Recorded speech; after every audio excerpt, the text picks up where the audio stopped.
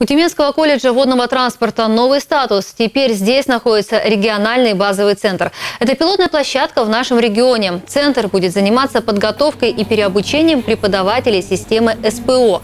Сейчас определены 9 базовых направлений. Например, поварское дело, электромонтаж, сварочное производство. По задумке, именно эти педагоги в связке с работодателями будут тренировать чемпионов WorldSkills. Нас будет больше специалистов, которые могут на более высоком уровне, на международном уровне осуществлять подготовку в рамках модулей профессиональных по тем или иным профессиям, наиболее востребованных в регионе.